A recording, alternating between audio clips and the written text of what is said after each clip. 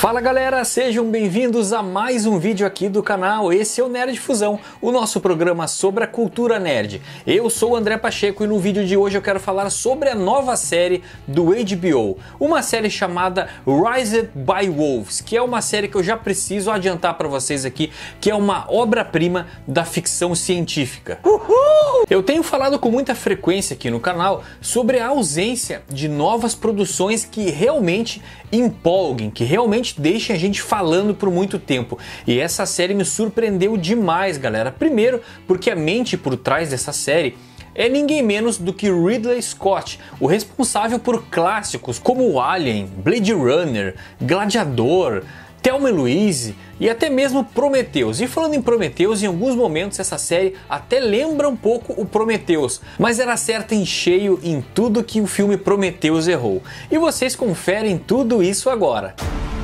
Ah, então quer dizer que está no ar mais um Nerd Fusão. Nesse caso, vamos assistir.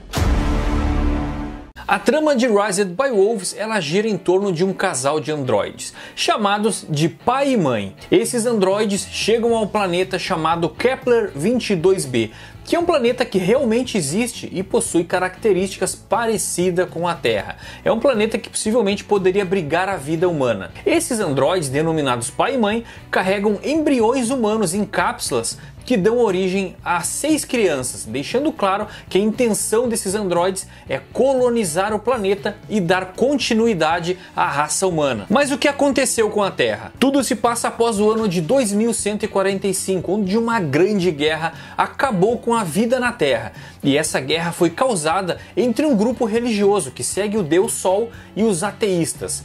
Essa guerra de religiosos versus ateus deixou a Terra totalmente inabitada e os humanos que restaram passaram a viver em colônias espaciais. Chegando secretamente nesse planeta inóspito e inabitado, o casal de androides começam a criar as crianças humanas sem qualquer influência ideológica, política ou religiosa. Eles são criados completamente como ateus e acreditam no poder das próprias decisões. Como é um vídeo sem spoilers, eu não vou entrar muito em detalhes da trama, mas é preciso dizer que esses androides estão com essa missão porque foram reprogramados e a Android Mãe ela é extremamente poderosa, ela é uma máquina de matar conhecida como Necromancer, enquanto o Android Pai é apenas um Android serviçal. O Travis Fimmel, o Ragnar da série Vikings, também está nessa série e o seu papel é fundamental.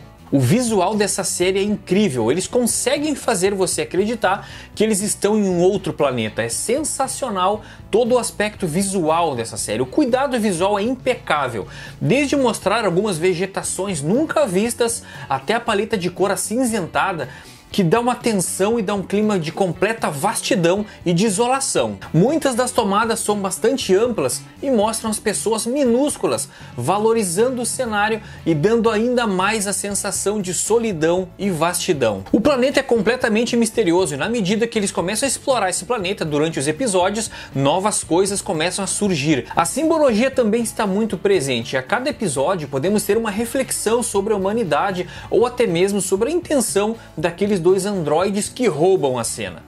Há uma forte simbologia religiosa também, como a arca, um possível Messias e seus discípulos, ou até mesmo a representação do capiroto.